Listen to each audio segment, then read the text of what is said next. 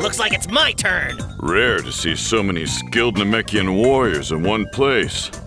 In fact, I'm pretty interested to see what they can really do. I'm sorry, but I won't go easy.